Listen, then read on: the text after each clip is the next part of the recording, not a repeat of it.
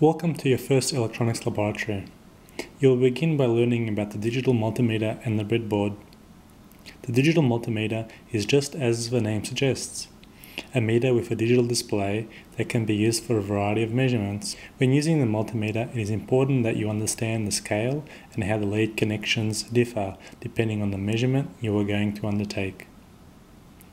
One great function of the digital multimeter is the conductivity tester. If current can flow between two points, the meter will beep. This is a great tool for checking if connections exist between two points. This is especially great for fault finding. You're also going to learn about the breadboard. The breadboard is used for most experiments. The breadboard allows us to build a circuit where the holes are used to connect the circuit together. It is vital that you understand how the holes are connected internally. Once we understand the fundamentals, we can start building some circuits.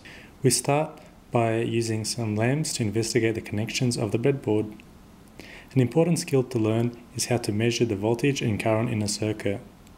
In order to make measurements, you will need to understand the difference between series and parallel circuits. Two or more elements are in series if they are cascaded or connected sequentially and carry the same current. Two or more elements are in parallel if they are connected to the same two nodes and consequently have the same voltage across them.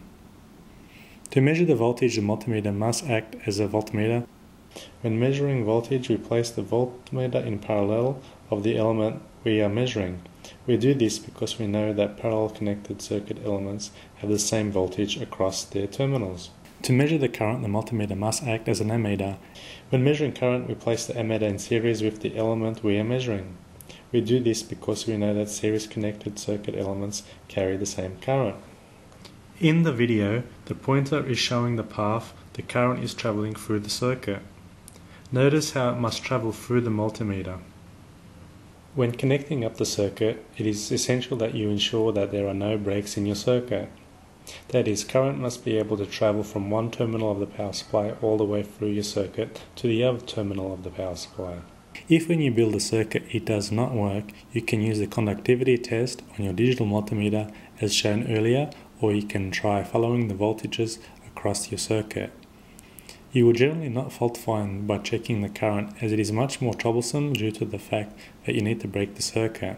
Ohm's law is represented by the equation V equals IR, where V is the voltage, I is the current, and R is the resistance. This equation can also be rearranged to be I equals V divided by R, and R equals the voltage divided by the current. Ohm's law states that the current in a conducting material is directly proportional to the applied voltage and inversely proportional to its resistance. It is one of the most important laws in electronics that you need to understand and remember. Resistors are heavily used in electronics. It is important that you know how to read the value of a resistor. A color code is used to represent the value of a resistor. In the diagram you can see four colors on the resistor. A gold or silver band represents the tolerance. When reading a resistor, this represents the final color. Therefore, if gold or silver is at the front, your resistor is the wrong way around. Gold represents a tolerance of plus or minus 5%, and silver represents a tolerance of plus or minus 10%. The other colors are determined by a chart. Each color represents a value from 0 to 9. An easy way to remember the colors is through the saying, Black bears run on your garden, but veggies grow well. The first and second colours directly represent the numbers from the chart. The third colour, however, is a multiplier. The value of the third colour represents how many zeros you need to attach to your first two numbers. The fourth, as mentioned previously, is your tolerance. Resistance can also be measured using an analog or digital multimeter.